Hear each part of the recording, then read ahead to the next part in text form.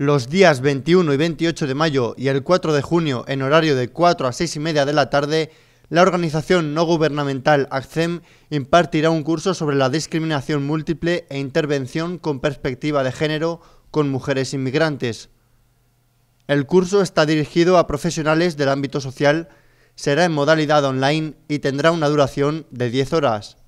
La inscripción es gratuita y la podréis hacer escaneando el código QR que aparece en pantalla en el propio centro de la mujer, llamando al 926 56 31 25 o enviando un correo a centromujer.campodecriptana.es.